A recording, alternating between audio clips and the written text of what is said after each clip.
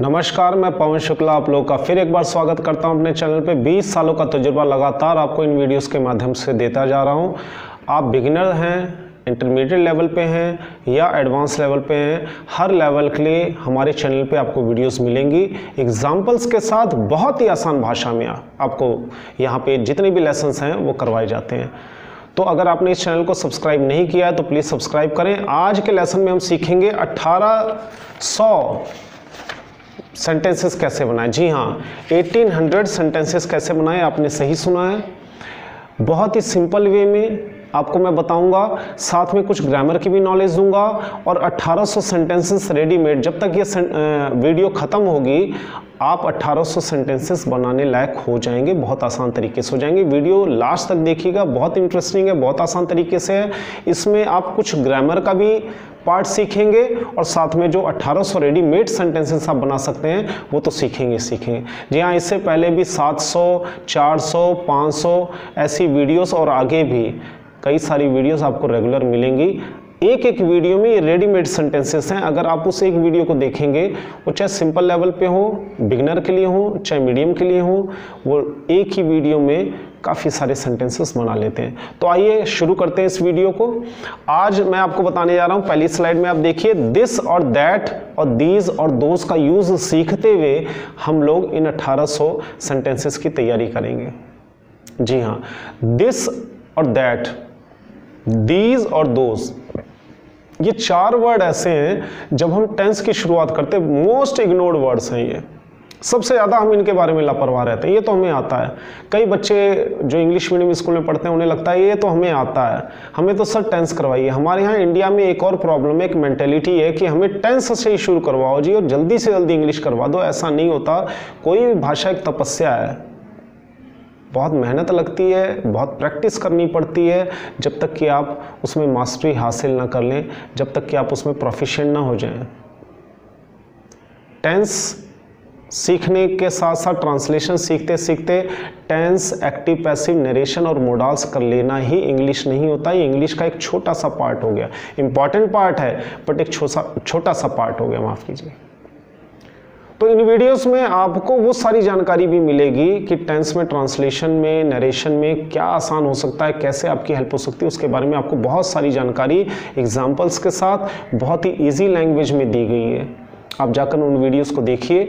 अगर पसंद आए तो सब्सक्राइब करिए, उसको शेयर कीजिए लाइक करिए। अगर कुछ कमियाँ आपको दिखाई देती है, मेरे लायक कोई सुझाव है, सलाह है तो उसको भी प्लीज़ ज़रूर दीजिए। तो आइए दिस और दैट और दिस दोस्त के बारे में जानते हैं। पहले पहले मैं आपको बता दूँ इन चारों की ज़रूरत क्यों होती है। कई बार क्या होता है, लिखते वक्त या बोलते वक्त हम कई सारे इशारा करके बातचीत करना पसंद कर लिखने जैसे, वो वाला पेन दीजिए जरा, वो वाला पेन मेरा है, ये वाला पेन मेरा है, वो वाला मकान मेरा है, ये वाली कार मेरी है, ये वाली चीज़ तो बेकार है, ये वाली ड्रेस मुझे अच्छी लगी। ऐसे वर्ड्स हम बोलते हैं, आपने देखा, बड़े कॉमन हैं। कॉमन वर्ड्स हैं। हिंदी में तो बहुत आसान हो गया। इंग्लिश में चूँकि हम टेंस से ही शुरू करते हैं तो ये वो वर्ड्स हैं जो रह जाते हैं। इसलिए ये इंपॉर्टेंट हो गया। तो आइए देखिए सिंगुलर और प्लूरल के अकॉर्डिंग इसे भी लेना होगा, इसे भी समझना होगा। सिंगुलर और प्लूरल दोनों को समझना बहुत ज़रूरी है। पूरी इंग्लिश या कोई भी भाषा, जैसे मैं हिंदी में बोल रहा हूँ, मैं खेल रहा हूँ। इसकी जगह मैं ये नहीं कह सकता, तुम खेल रहा हूँ। तो ये सेंटेंस गलत हो जाए। क्यों? क्योंकि मुझे पता है कि आपके साथ हूँ नहीं लगता, मैं के साथ हूँ लगता है। लेकिन ये रूल तो हमने सीखा नहीं, उसका रीज़न है क्योंकि हिंदी हमारे लिए, हमारी नेटिव लैंग्वेज है। बचपन से हम सुन रहे हैं, बोल रहे हैं रिपीट कर रहे हैं, इसलिए हमें कोई दिक्कत नहीं होती। लेकिन इंग्लिश हमारी नेटिव लैंग्वेज नहीं है, ये हमारे लिए एक दूसरी भाषा है, विदेशी भाषा है सेकेंड लैंग्वेज है। तो इसलिए इन सारी चीज़ों का ध्यान देना होता है। तो दिस और दैट पहली चीज़ देखिए स्लाइड में, पास के पर्सन प्लेस थिंक के लिए। प्लेस का मतलब ये मेरा स्कूल है पर्सन के लिए मतलब ये मेरा भाई है थिंक के लिए ये मेरा पेन है, के लिए यूज़ होता है। पास की तरफ़ जब हम इशारा करके बोले तब ही इज़ माई ब्रदर और दिस इज़ माई ब्रदर में एक फ़र्क है, इसको समझने की कोशिश करें। ही इज़ माई ब्रदर में क्या होता है? वह मेरा भाई है, मैं कॉमन में चाहे मेरा भाई सामने है या नहीं है, मैं उसका ज़िक्र कर रहा हूँ। But this is my brother तो मैं हो सकता है मेरे सामने खड़ा हूँ, मैं फ़ोटो में देख रहा हूँ या किसी वीडियो में देख रहा हूँ। तो मैंने बताया, अरे दिस इज़ माई ब्रदर ये तो मेरा भाई है। तो इशारा करके एक इंडिकेशन दिया मैंने। तो ये फ़र्क है। पर्सन, प्लेस थिंग के बारे में जानेंगे। दैट का मतलब पास के लिए हमने किया तो इसका अपोजिट दूर के लिए। मान लो कोई चीज़ दूर हो तो उसके लिए भी एक वर्ड चाहिए। तो इसके लिए जो टीचर्स थे प्रोफेसर्स थे, उन्होंने दैट बनाया, जो इसके भाषा के वैज्ञानिक है, जिन्हें ग्रामरियन कहा जाता है, उन्होंने बनाया इसको। वो है दैट दिस का हो गया पास के लिए दैट का मतलब हो गया दूर के लिए। That that is a fan that is my car तो दिस और दैट अच्छा तो दो चीज़ें हो गई दिस पास के लिए और दैट दूर के लिए।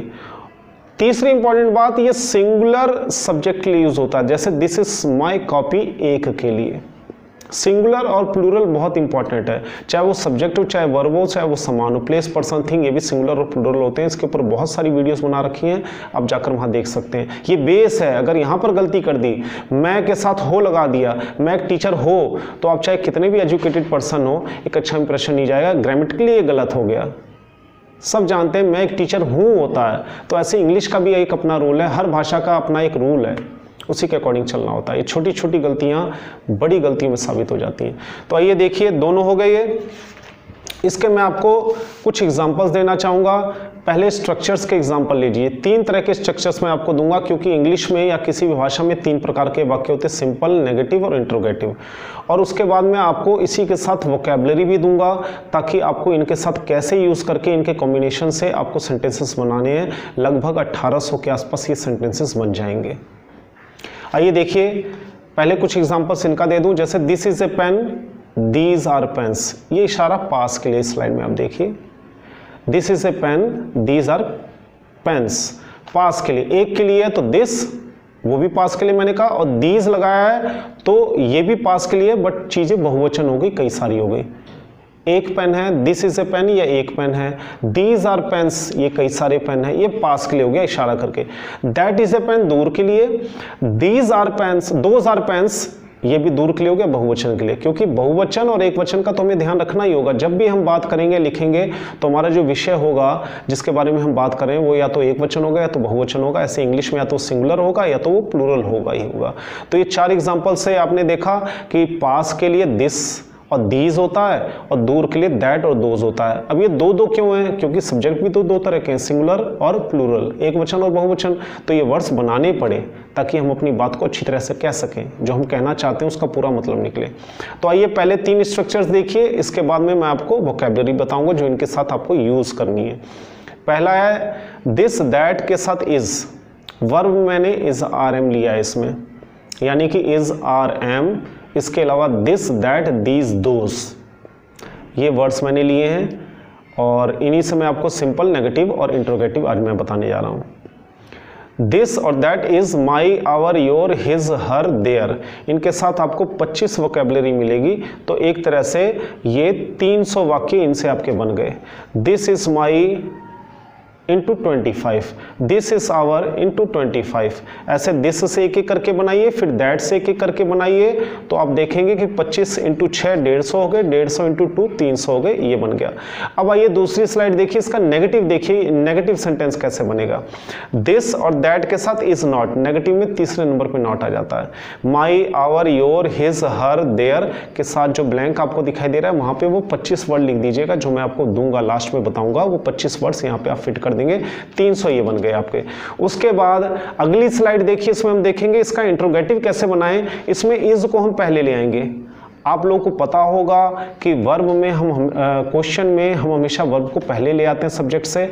इसके बारे में काफ़ी सारी वीडियोस बना रखी है, वहाँ पे आप जाके देख सकते हैं। तो इसी तरह इसमें भी वर्ब को हम पहले ले आए, फिर दिस और दैट यानी सब्जेक्ट है, वो बाद में आ गया। My your his your our his her ये सारा है। इसके साथ इसके साथ पच्चीस वर्ड अगर आप लगाएँगे तो इस तरह से ये तीन सौ तीन सौ तीन सौ आपके नौ सौ सेंटेंसेस तैयार हो जाएँगे। अब आइए हम बात करते हैं दीज और दोस्त की। दीज और दोस्त के भी ऐसे मैं आपको तीन स्ट्रक्चर्स बताऊँगा। ये दिखने में तो बहुत आसान लग रहा है, हो सकता है आपके लिए आसान हो, लेकिन ऐसे बहुत सारे बच्चे हैं जिनके लिए ये भी आसान नहीं है। तो ये वीडियो उनके काम की है बेसिक लेवल पे ये वीडियोस वैसे सीखने को तो कोई भी सीख सकता है। ये जितनी जानकारियाँ दी हुई हैं, ये कोई भी सीख सकता है। गलतियाँ किसी से भी हो सकती हैं, मुझसे भी हो सकती हैं, आपसे भी हो सकती हैं। तो ये छोटी छोटी बातें ध्यान में रखने से हमारा कॉन्फिडेंस बढ़ जाता है। तो ये देखिए पहले दीज का और दोज का स्ट्रक्चर दीज और दोज में आर माई आवर योर तो दीज और आर फिर माई के साथ, ऐसी दीज के साथ my, your, our, his, her, इन सभी का यूज़ कीजिए। इसी तरह दूसरी स्लाइड में हम देखते हैं, दूसरी स्लाइड में दीज, दोज, आर नॉट, ये नेगेटिव बन गया। इसके साथ भी वही वर्ड है, my, our, your, his, her, their. इनके साथ अगर आप बनाएँगे 300 ये बन गए। इसके बाद तीसरी और आखिरी स्लाइड इसकी देखते हैं, उसके बाद वोकेबलरी में आपको बताने जा रहा हूँ, जो इसके साथ आप यूज़ करेंगे, उसमें भी ध्यान रखना, थोड़ा क्या ध्यान रखना मैं बताऊँगा। आर को आप आगे ले आइए। उसके बाद दीज दोस्त my your our his her their ये वर्ड हो गया। लास्ट में क्वेश्चन मार्क आप देख रहे हैं, ये ज़रूर लगाइएगा। तो इस तरह से ये आप, जो मैं आपको बताने जा रहा हूँ, इस तरह से अगर आप इकट्ठे करेंगे 25 वर्ड्स हैं, वैसे तो 50 हैं, लेकिन सिंगुलर और प्लूरल मैंने दोनों दे रखे हैं। तो उसके बारे में मैं आपको बता, बताने जा रहा हूँ। ये सारी, ये वर्ड पहली स्लाइड में आप देखिए, इसमें सिंगुलर फॉर्म है, ये पार्ट वन है। पार्ट वन आप दिस और दैट के साथ यूज़ करेंगे। पार्ट टू जो वोकेबलरी मैं आपको बताऊँगा, वो आप दीज और दोज के साथ यूज़ करेंगे, क्योंकि उसमें मैं प्लूरल फॉर्म बताऊँगा। तो आइए देखिए स्लाइड में कितने वर्ड्स हैं। Pen copy bat register bag key book pencil toy watch box umbrella knife house car bike scooter shop यहाँ पे एच है ये shop company phone bed chair desk rubber glass इसमें से बहुत, लगभग सभी, बहुत आसान वर्ड्स लिए मैंने, इनकी हिंदी आपको पता होगी, लेकिन अगर नहीं पता है तो जो दो चार वर्ड्स बचे हैं, उनको आप डिक्शनरी में देख लीजिएगा अदरवाइज़ ये वीडियो बहुत लंबी हो जाएगी। तो ये पार्ट वन था पार्ट वन को पार्ट वन के साथ यूज़ करेंगे, यानी दिस और दैट वाले के साथ, जो मैंने तीन स्ट्रक्चर्स बताए हैं, उनके साथ आप यूज़ करेंगे। उसके बाद जो दीज और दोज है, उसके लिए मैं आपको ये सेकेंड स्लाइड दे रहा हूँ, आप उसमें यूज़ करेंगे, आप बहुत आसानी से उसका कर पाएँगे। आइए देखते हैं सेकेंड स्लाइड पेन्स कॉपीज उसी का प्लूरल है ये pens copies bats registers bags keys books pencils toys watches boxes umbrellas knifes houses cars bikes scooters shops companies phones beds chairs desks rubbers glasses, ये सारे वर्ड थे 25 हैं। ये जो मैंने अभी आपको वर्ड्स दिए थे, उसी का ही प्लूरल है, ताकि आप ज़्यादा कंफ्यूज ना हो। दोनों पार्टों में सेम वर्ड्स मैंने रखे हैं। इनको आपको उनके साथ यूज़ करना है 25 के साथ, जो मैंने आपको बताया है। तो इसमें आज के, अगर इसको एक एक करके लगाइए। आपने वीडियो देखी, अरे ये तो मुझे आता है। जी नहीं, इसकी प्रैक्टिस कीजिए। आपके दिमाग में प्रैक्टिस करने से क्या फ़ायदा होगा? एक तो जो ये वोकेबलरी आई है, वो बढ़ेगी आपकी। प्लस वर्ड ऑर्डर क्या होता है, इसके बारे में पता चलेगा कि वर्ब पहले कब लगता है नॉट कौन से नंबर पे लगता है इसकी आपको जानकारी होगी। तीसरा, जो स्ट्रक्चर है इनका, कौन सा शब्द कैसे यूज़ करते हैं कहाँ यूज़ करते हैं, उसके बारे में भी आपको जानकारी बढ़ेगी। तो मैं उम्मीद करता हूँ कि अगर आपकी इंग्लिश बहुत अच्छी है, भगवान करे अच्छी हो तो आप इस वीडियो में हो सकता है उतना ना सीख पाए हों। आपके सीखने लायक ना हो। लेकिन ये वीडियो हर उस बच्चे को शेयर कीजिए, हर इस, उस स्टूडेंट को शेयर करिए, जो आपके आस पड़ोस में रहता हो या आपका जानकार हो, रिलेशन में हो, उनको शेयर करिए। हो सकता है ये वीडियो उनके काम की हो। लाखों बच्चे हैं, हम उन तक पहुँच नहीं पा रहे हैं। तो मेरी कोशिश यही है कि 20 सालों का तजुर्बा इन वीडियोस के माध्यम से पूरे देश में पहुँचे। इसका इंग्लिश वर्जन भी मैं बहुत जल्दी लाने वाला हूँ। हिंदी में जो आप क्लास ले रहे हैं, वो हिंदी में है। जो इंग्लिश वर्जन होगा, वो इंग्लिश टू इंग्लिश होगा, ताकि इसका फ़ायदा पूरे फिर वर्ल्ड लेवल के बच्चों को मिले। तो मैं उम्मीद करता हूँ कि आज की वीडियो बहुत मेहनत की है वर्ड्स को ढूँढने में। फिर इसको कैटेगराइज करने में सेट करने में दिमाग में रखिए। एक बच्चे के पॉइंट ऑफ़ व्यू हिसाब से सोचना पड़ता है। तो आप इसको पेन और कॉपी लेके बैठिए और बिल्कुल लाइट ना लें इसे, हल्का ना लें। इसकी प्रैक्टिस करिए। प्रैक्टिस करने से ही आप परफेक्ट होंगे। बाकी अगर आप मीडियम लेवल के स्टूडेंट्स हैं अगर आप स्टूडेंट हैं या आप हाई लेवल के स्टूडेंट हैं तो आपके लिए बहुत सारी वीडियोस ऑलरेडी इस चैनल पे दी हैं और लगातार अपलोड होती रहती हैं। ऐसा कोई टॉपिक नहीं है जो आपको इस चैनल पे नहीं मिलेगा। तो मिलते हैं आपसे अगली वीडियो में। बहुत बहुत धन्यवाद। God bless you